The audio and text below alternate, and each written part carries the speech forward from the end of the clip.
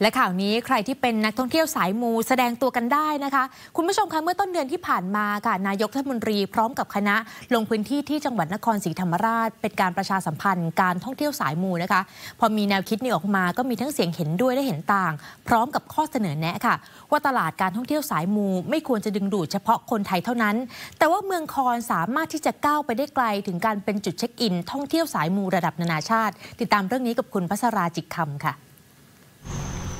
ความสวยงามและประวัติศาสตร์ของวัดพระมหาธาตุวรมหาวิหาร เป็นสถานที่สำคัญของชาวนครศรีธรรมราช ที่นี่รายล้อมด้วยศาสนสถาน สะท้อนความเป็นพหุวัฒนธรรมบนถนนราชดำเนิน ดึงดูดนักท่องเที่ยวสายมู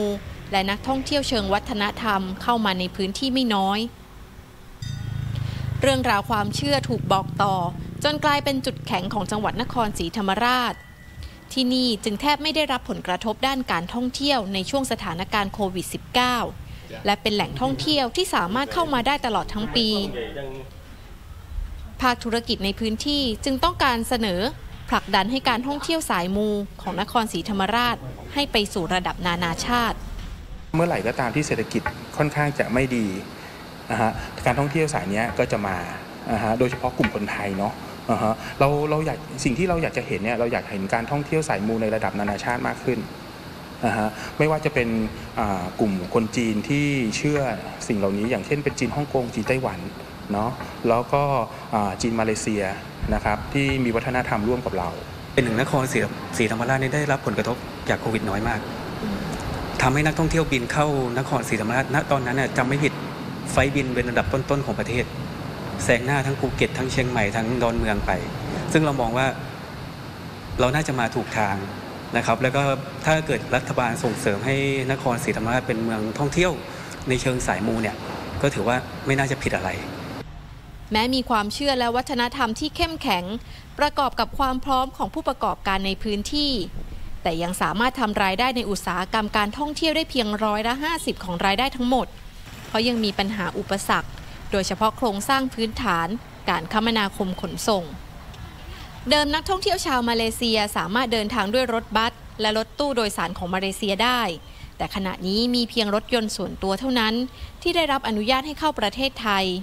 การปลดล็อกข้อกฎหมาย เพื่อสนับสนุนการท่องเที่ยว จึงเป็นอีกปัจจัยที่ทำให้การท่องเที่ยวขยายตัวได้มากขึ้น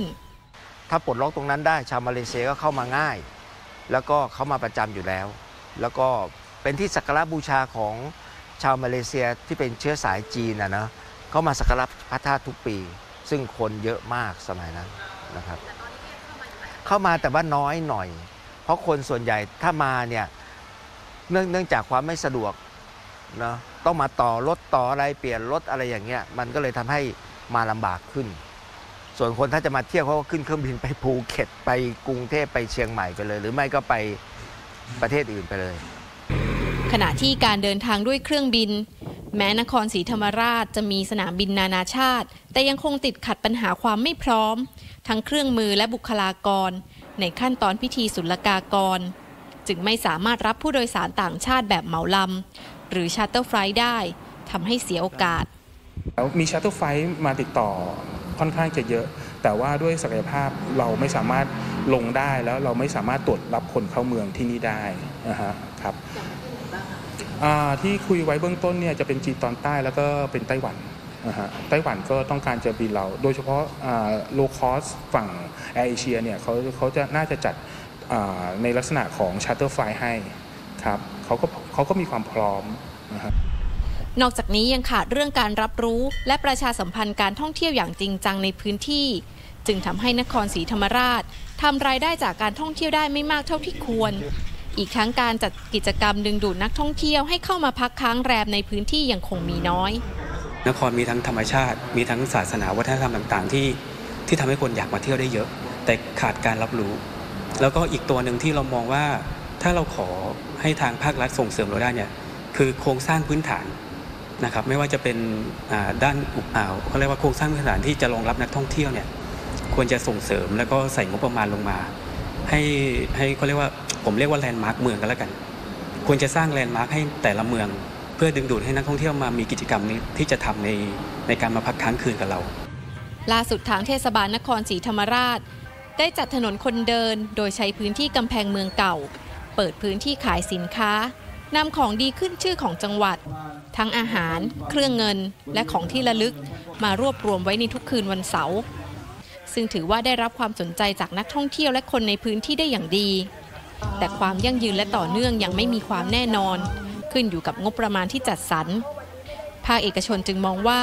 จำเป็นให้ภาครัฐเข้ามาสนับสนุน และผลักดันอย่างจริงจังต่อไปปัสราจิคคำไทย PBS รายงาน